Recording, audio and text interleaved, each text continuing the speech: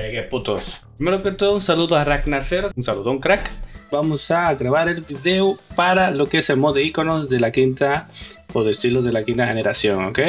Primero que todo, vamos a pasar un poco de contexto. Básicamente, los iconos y es mejor verlo en PvP porque aquí es donde se va a destacar mucho más. Vamos a agarrar una pelea cualquiera que esté empezando más o menos. Vamos a agarrar esta, por ejemplo. Nótese primero que toque los iconos, lo que usted tiene que tomar en cuenta es que así como se ven los mismos sprites base que vienen en el Pokémon, son como va a estar los iconitos de los Pokémon, ¿ok? Nótese que por lo menos en el caso de, de, Chandelure se ve de esa misma manera, con lo que viene estándarmente sin ningún tipo de mod, ¿verdad? Ahora, solamente pase la comparativa, ¿ok? Ese es uno. Obviamente la Pokédex usted lo va a poder llegar a apreciar de esta misma manera. Ese tipo de cosas. En el GTL igual, que ustedes saben que se ven los iconos de este lado. Así bien estándarmente. Pero ahora va lo siguiente. ¿Cómo se ve con el mod puesto? Por ejemplo, lo voy para atrás. Voy a donde están los mods y lo voy a activar. El mod tiene esta apariencia de este Pokémon aquí. Quinta generación Style Icons. El autor soy yo eventualmente. Versión 5.0. Vamos a darle que sí esto lo va a pedir a reiniciar. Después yo le explico cómo se instalan y ese tipo de cosas. Así que, ok. Iniciamos el juego nuevamente, en algún momento va a salir y ¡pam! Ok, primero voy a empezar con el ejemplo de lo de la pelea porque ahí es donde quiero que ustedes vean la gran diferencia. Por ejemplo, ahora que están los iconos de los Pokés ahí, van a ver que cambiaron los sprites de los icons. Básicamente tiene exactamente la misma forma en la que como aparece el Pokémon aquí, ¿ok? Simplemente la mismísima y tanto el rival de abajo como el de arriba, ¿ok? Si lo vemos de otra perspectiva, así se ve por ejemplo en la, en la, en la Pokédex, obviamente.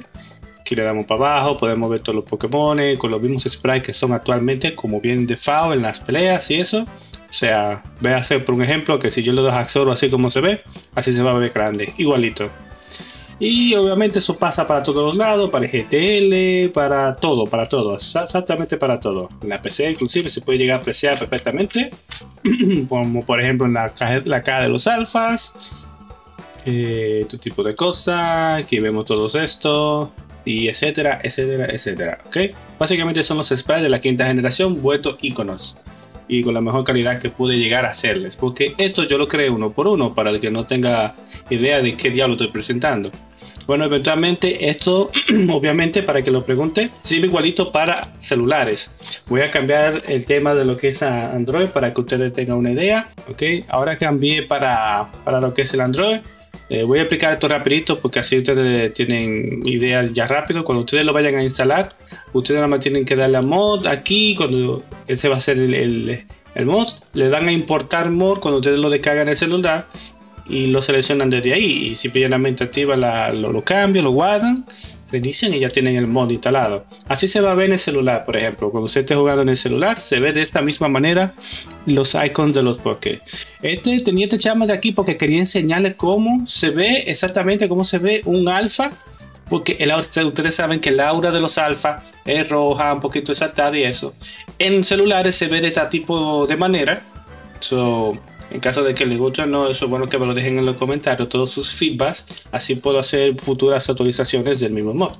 Obviamente así se ve como si fuese en el celular, como si usted estuviese jugando en el celular, de esta misma manera todo bien, todo nice. Eh, nótese perfectamente que los sprites de los Pokémon como que están un poquito más curviados a la derecha.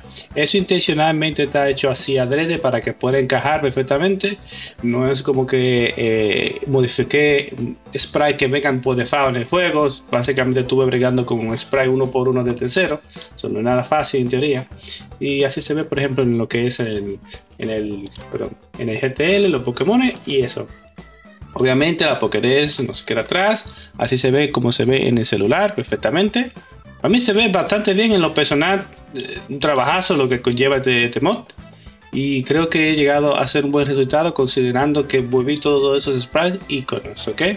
Ahora también en lo que es PvP, en el mismo celular y eso, te voy a enseñar más o menos cómo se ve también en las peleas de celular. Y se ve de este tipo de manera. esto es para que hagamos la comparativa de cómo se ve todo perfectamente y etcétera, etcétera, ¿ok? Aquí está todo, nice.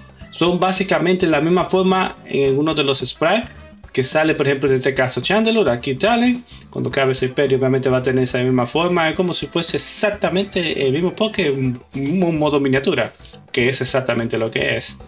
Y ya, Ok gente, eso es todo por ahora, así que pasemos a lo que es la instalación del mod en los respectivos dispositivos, o sea, la PC celular.